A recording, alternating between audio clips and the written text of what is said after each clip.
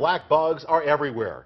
Viewers have been calling, telling us about all these ticks they're seeing this summer. You know, this is causing real concern out there, but before you press the panic button, we do have an entomology lesson for you. Hmm. Here's Pittsburgh's Action News 4 reporter, Shannon Perrine. You could be here in the woods, you could be in your car. People are even reporting seeing them in their offices. Look right here, I have one right on my hand. Put my glasses on for a closer look. Wait, that's not a tick at all. I'm going to show you how you can tell the difference.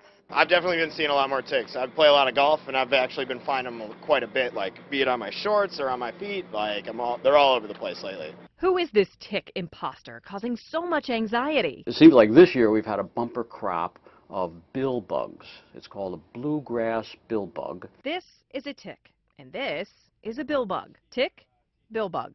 Tick, billbug. Let's see it closer. Closer. Oh, too close. That's better. Are you still confused? Yeah, me too.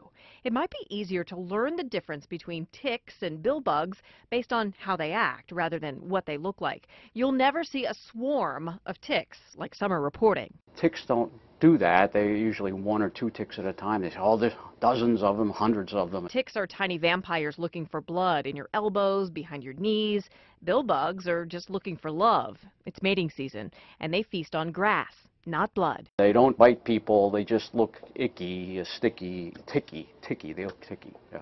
You need to know that the dangerous blood-sucking ticks that can spread Lyme disease are on the rise in Allegheny County. We've documented over 30 years the tick has spread into Allegheny County. If you think you've been bitten by a tick, don't take any chances. Go ahead and call your doctor. But if you see a billbug on your hand, do what I do and just flick it off and have peace of mind. I'm Shannon Perrine, Pittsburgh's Action News 4.